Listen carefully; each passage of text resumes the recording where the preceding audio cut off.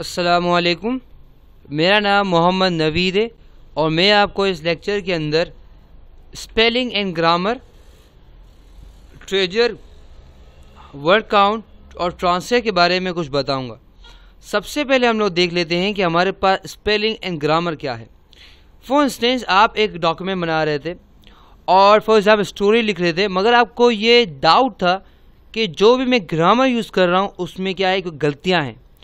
तो for example आप क्या करेंगे? आप किसी टीचर के पास जाएँगे या तो उस बंदे के पास जाएँगे जो एक्सपर्ट है इंग्लिश के अंदर। तो वो देखेगा, करेगा, फिर आप पैसे भी देंगे, सब करेंगे, मगजमारी बहुत सारी होंगी। मगर अब कोई मसला नहीं। क्यों?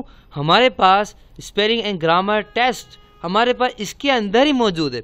फॉर एग्ज़ाम्पल कभी भी आपको गलती करते हैं तो आपका एम एस वर्ड खुद ही बताता है। देखें क्या ज़बरदस्त चीज़ हमारे पास है। सबसे पहले हमारे पास क्या है? फॉर एग्ज़ाम्पल मैंने, जैसे मैं लेता हूँ नवीद सही अच्छा मैं यहाँ लेता हूँ नवीद देता हूँ, मैं, ओके, हमारे पास।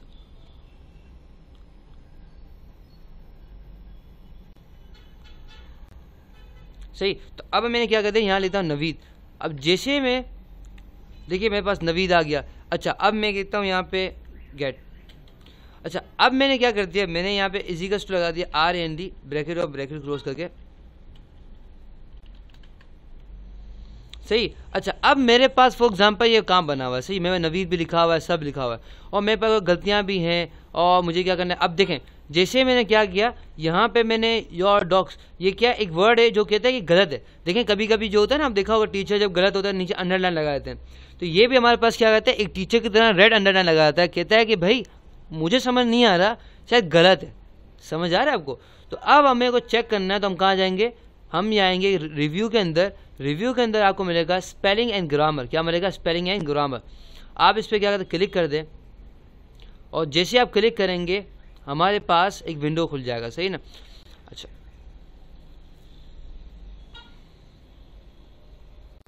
अब देखिए, हमारे पास खुल गया। वो आपसे पूछता है कि भाई, आपको क्या करना है? देखें स्पेलिंग देखें डॉक्यूमेंट्स की स्पेलिंग ये बता भी रहा आपको सजेशन भी कर रहा है। देखें, आपको नज़र आ रहा है यहाँ पे।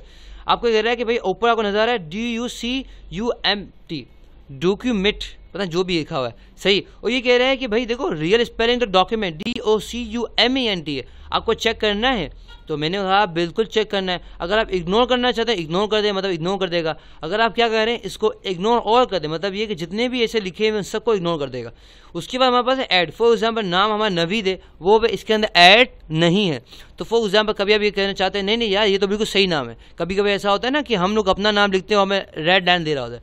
क्यों? क्योंकि डिक्शनरी में हमारा नाम नहीं होता है। तो वो आप फॉर एग्ज़ाम्पल कहना चाह रहे हैं कि भाई ये सही है, मुझे नाम ऐड करना है। तो उसको ऐड कर दे, ऐड हो जाएगा।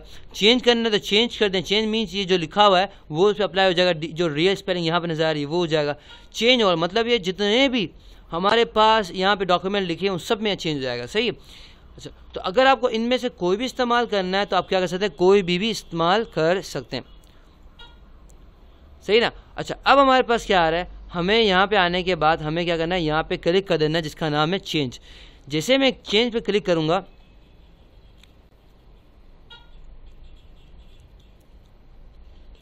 अच्छा अब देखिए हमारे पास क्या हो जाएगा? ये हमारे पास चेंज हो जाएगा, सही ना? हमारे पास दो में टाइम लेगा हमारे पास।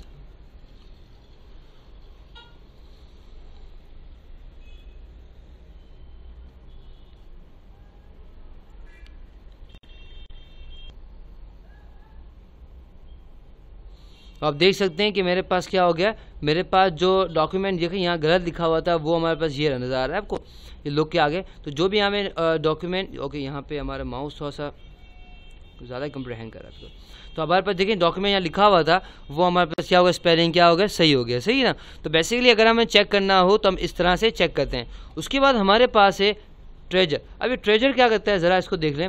सबसे पहले मैं गेट पे क्लिक कर दिया सॉरी सेलेक्ट कर दिया, इसके बाद मैं यहाँ पे आया और मैंने कर दिया ट्रेजर पे। अब हमारे पास क्या आ गया, हमारे पास ये गेट आ गया। अच्छा अब हमारे पास के समझ में आपको बताता हूँ किस तरह से होता है। फॉर एग्ज़ाम्पल मैं एक इंसान को बोलता हूँ बैठे तशरीफ़ रखें ओके तो अब मैंने बोला बैठो तीनों चीज़ें मैंने क्या की हैं? एक ही की हैं। इन तीनों क्या मतलब है? एक ही मतलब है। बैठो, तशरीफ़ रखो तशरीफ़ आवारी। जो भी आप कहें। मगर पहले में क्या है? मैं तशरीफ़ रखी। ये हमारे पास क्या है? ये हमारे पास है एक रिस्पेक्ट दे रहे हैं। तो हमारे पास तीनों चीज़ें एक ही हैं, सही है? तो इसी तरह से फॉर एग्ज़ाम्पल हमारे पास एक वर्ड है हम ये चाहते हैं इसी तरह का एक वर्ड क्या दूसरे से मीनिंग या दूसरे से एक वर्ड आ जाए। तो हमारे पास देखें, जैसे मैंने गेट लिखा, हमारे पास बिकम आ गया ग्रो आ गया चेंज आ, हमारे पास कॉन्ट्रैक्ट आ गया। देखिए, सारी चार चीज़ें हमारे पास क्या ट्रेजर के अंदर आ गई। तो ये हमें सजेशन देता है कि आप क्या करें, एक ही वर्ड के कितने तरीके हो सकते हैं बोलने के। ये हमारे पास यहाँ पे ट्रेजर हमें दे देता है। अच्छा उसके बाद हमारे पास है वर्ड काउंट क्या है हमारे पास? वर्ड काउंट अब ये वर्ड काउंट क्या करता है? जैसे इसका नाम है, वैसे इसका काम है। ये वर्ड काउंट वर्ड को क्या करता है? काउंट करता है। फॉर एग्ज़ाम्पल बताता है कि आपके कितने पेजेस हैं, कितने वर्ड्स हैं, कितने कैरेक्टर्स हैं विद स्पेस के साथ स्पेस के ना ना स्पेस के साथ। पैराग्राफ कितने हैं? लाइंस कितनी हैं? अगर आपको सेलेक्ट कर लेंगे सारा का सारा फॉर एग्ज़ाम्पल मैं सबको सेलेक्ट कर लेता हूँ यहाँ पे कंट्रोल ए करके। सेलेक्ट कर लिया सेलेक्ट करने के बाद मैं वापस जाता हूँ यहाँ पे। और अब देखिए मेरे पास क्या दिखा रहा है आपको दिखा भी रहा है कि आपके पास सात पैराग्राफ्स हैं, उसके अंदर सेवनटीन लाइन्स हैं, और इतने कैरेक्टर्स हैं, कितने कैरेक्टर्स पे के साथ हैं, कि नहीं। तो बेसिकली जब भी हमें मालूम करनी होगी कि हमारे डॉक्यूमेंट्स के अंदर कितने पेजेस हैं, कितने वर्ड्स हैं, कितने कैरेक्टर्स हैं, हम क्या करते, क्या क्या क्या कर सकते हैं, यहाँ पर आके काउंट कर सकते हैं। लास्ट में जो हमारी चीज़ है, वो है हमारे पास ट्रांसलेट फॉर एग्ज़ाम्पल आपने क्या करना है? इसको ट्रांसलेट करना है. तो ये हमें क्या करेगा ट्रांसलेट करके दिखाएगा. तो सबसे पहले हमने क्या किया? सेलेक्ट कर लिया था, हमारा सेलेक्ट क्या हुआ था? और हमने कहा गए? यहाँ पे गए ट्रांसलेट के अंदर. और ये तो टाइम लेगा ट्रांसलेट करने के लिए. आप ये कहना चाह रहे हैं कि भाई कौन सी कहाँ से ट्रांसलेट करें? इंग्लिश में करें फ्रेंच में करें कौन से इसमें हमारे पास करें? तो ट्रांसलेशन मैंने कर दिया. और अब देख सकते हैं कि मेरे पास क्या आ गया? अच्छा तो ये मेरे पास इंटरनेट फैसिलिटी ना होने की वजह से ये मेरे पास ट्रांसलेट नहीं कर रहा है। अगर फॉर एग्जांपल अगर आपके पास देखें कोई भी डॉक्यूमेंट के अंदर फॉर एग्जांपल मैं करना चाहता हूँ यहाँ पे हम कर देते हैं, यहाँ पे मैं दिखाता हूँ मैं आपको यहाँ करके दिखाता हूँ, सही ना? अच्छा। और मैं यहाँ पे आगे क्या कहता हूँ उसको उर्दू में करने की कोशिश करता हूँ। तो मैं कहता हूँ कि यहाँ पे क्या कहता हूँ उसको उर्दू में ट्रांसलेट कर दो। सही? अच्छा।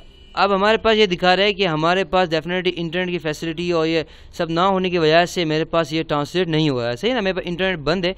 दियर फोर हमारे पास ये ये ट्रांसलेट नहीं हो रहा। अदरवाइज़ इंटरनेट अभी ऑन होता था, ये बिल्कुल ट्रांसलेट करके मुझे दे रहा होता। तो अब ये क्या है? फॉर एग्ज़ाम्पल कभी आप फॉर एग्जांपल आप काम करते हैं चाइना वालों से, या आपका डीलिंग से फॉर एग्जांपल अमेरिका वालों से, या तो किसी दूसरे मुल्क से आप डीलिंग और वो आपको कोई दूसरे डॉक्यूमेंट्स होते हैं, किसी दूसरे लैंग्वेज देते हैं, जो आपको नहीं आती है तो आप क्या कर सकते हैं, यहाँ से बिल्कुल अच्छे तरीके से डाउनलोड कर सॉरी आप इसे अच्छे तरीके से क्या कर सकते हैं, इसको ट्रांसलेट कर सकते डाउनलोड ट्रांसलेट कर सकते हैं, सही है?